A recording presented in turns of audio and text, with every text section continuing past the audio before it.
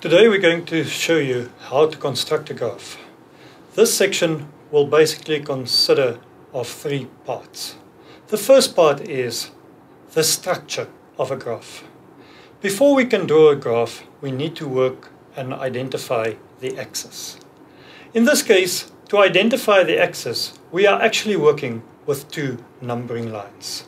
And you can see on the whiteboard, the one running from east to west, the horizontal one, that is our x-axis.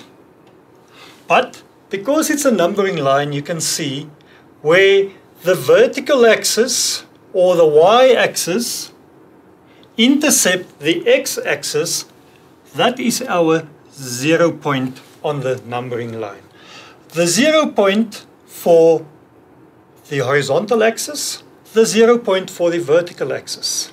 This zero point is also then the dividing uh, point between the negative sector and the positive side of the numbering line. To the right of the zero, you find we have a value of 5, a value of 10, a value of 15, and a value of 20. So the further we move away to the right from zero, the values increases.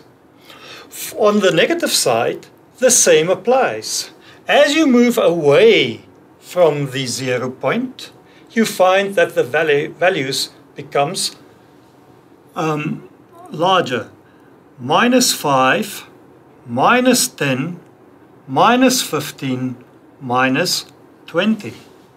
And this is true because if you think about your bank balance, if you have a bank balance of minus 20, then it implies that it is a greater value that your bank balance is in the negative as opposed to when you have a bank balance which is only negative with 5 rand. The same also applies for the vertical axis.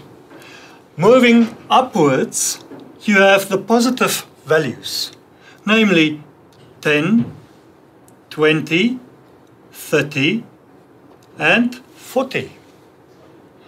But below the zero point, moving closer to the floor or to the ground, here we have our negative values again. Minus 10, minus 20, minus 30, minus 40.